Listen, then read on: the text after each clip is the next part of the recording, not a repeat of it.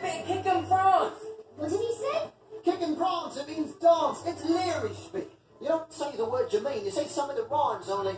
Here, I'll show you how it works. Angus, give us your weeping wail. To the rest of you, that means take.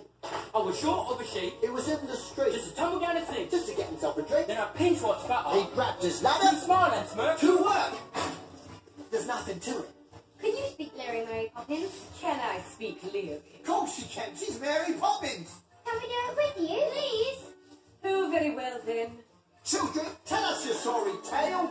Give us your weeping wail. Well, we had this ball Rabbit in the hole. that fell and broke. Bicycle spook. So we took it to a shop Like a lollipop. and went upside down. That's circus clown. Then went to the bank, Rattle and clank. got lost in the fog. Lump on a log. So we found a friend Who stand and defend. who took us on a trip. Number horses grip. And we took it all like fantastic. Now that sounds a little bit bombastic. But they tripped the line. We tripped the line. We tripped it all like fantastic.